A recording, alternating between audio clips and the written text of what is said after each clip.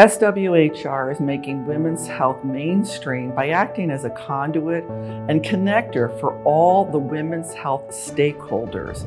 I believe SWHR has the right model for networking and policy to make inroads and a positive impact on women's health worldwide.